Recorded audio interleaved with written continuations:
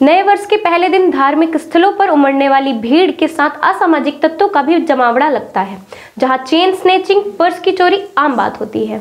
इन अपराधों को रोकने के लिए पुलिस प्रशासन ने कई दिनों से हाथ पैर चला रहा था। शहर के मुख्य धार्मिक स्थलों के साथ देव तालाब और नई गढ़ी देवी मंदिर में श्रद्धालुओं की अच्छी खासी भीड़ एकत्र होती है, जहाँ हमारे प्रतिनिधि रोहित पाटिल ने यहाँ का जायजा लिया और लोगों के साथ सुरक्षा व्यवस्था को लेकर थाना प्रभारी जगदीश सिंह ठाकुर और यहाँ आने वाले लोगों से चर्चा की है। आइए आपको ले चलते हैं नई गढ़ी दिखाते हैं किस तरह के उत्साह के साथ लोगों ने नए वर्ष की शुरुआत की है और पुलिस प्रशासन किस तरह से चौकन्ना है। कहाँ कहाँ गाड़ी फ़ोटो अच्छी आए चाहे नहीं आए? हाँ किनारे मत जाइए। देखिए दिख नहीं रहा। ये जो पूरा दिख रहा है ना। जितना दूरी रखना चाहिए कि मान लो काम करना पीछे पीछे आए हैं। पीछे से मतलब नहीं हुआ पंडाल में सब लोग बताए नहीं को नगर वाले की को नहीं आई कोई नहीं। बताया। पंडाल में अपना हुआ रहे। हाँ। साहब को देखे सवेरे से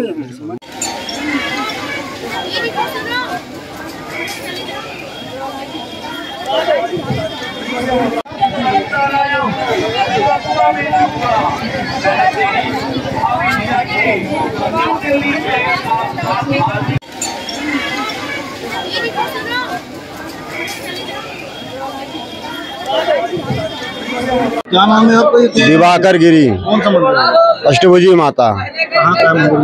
ये अष्टभुजी माता नई गढ़ी क्षेत्र में।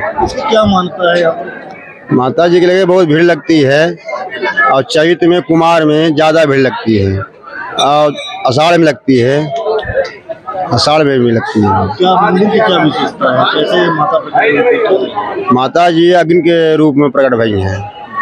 यहाँ जंगल था तो यहाँ आगे के रूप में निकल रही सोचिन के यहाँ जंगल में लग जी आगी यहाँ राजा के पहरेदार यहाँ आते रहे पानी। तो उतने में बुझाई गई उतने में समाप्त हो गई।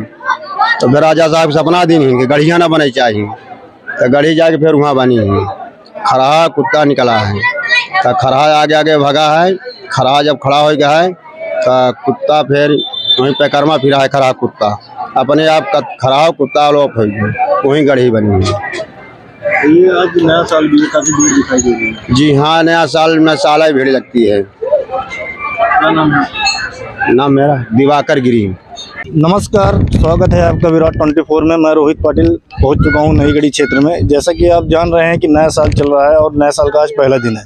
और रीवा एसपी नवनीत भसीन ने 31 और 1 तारीख को हाई अलर्ट जारी किया है। तो मैं आज यहाँ पहुँच चुका हूँ भौती प्रताप में। यहाँ पर आप देख सकते हैं कि आज नए साल में काफ़ी भीड़ यहाँ एकत्रित हुई है। तो यहाँ पर मैं, हम लोग जान रहे हैं कि, देख रहे हैं कि पुलिस की क्या व्यवस्था है। कई पॉइंट बनाए गए हैं। नई गढ़ी पुलिस ने कई पॉइंट बनाए हैं और कई सारे क्षेत्र का भ्रमण भी किया है। तो हमारे साथ स्वयं यहाँ पर नई गढ़ी थाना प्रभारी जगदीश ठाकुर सर यहाँ पर खड़े हुए हैं। तो हम उन्हीं से जानेंगे कि किस तरह के पॉइंट हैं और नए साल को लेकर क्या व्यवस्था पुलिस की तरफ़ से की गई है। सर नए साल में आपको विराट ट्वेंटी फोर स्वागत है। जी आपको भी नए वर्ष की हार्दिक शुभकामनाएँ।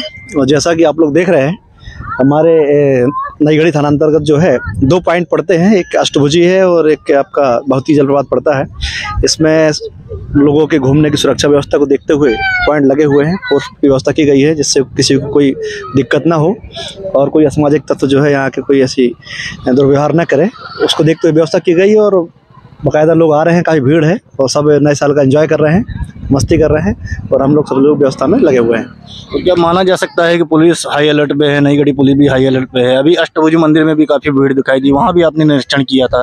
तो वहाँ किस तरह के निर्देश आपकी तरफ़ से इस मंदिरों में? जी हाँ एक चूँकि वरिष्ठ अधिकारियों को निर्देश हुआ है कि ऐसा व्यवस्था को पूरा तरीके से सुचारू तैयार करना है उन्हीं के निर्देशन में ही सारी चीज़ें चल रही हैं। और प्रशासन इसलिए अलर्ट है चूँकि कई बार यहाँ पूर्व में घटनाएँ घटित हो चुकी हैं।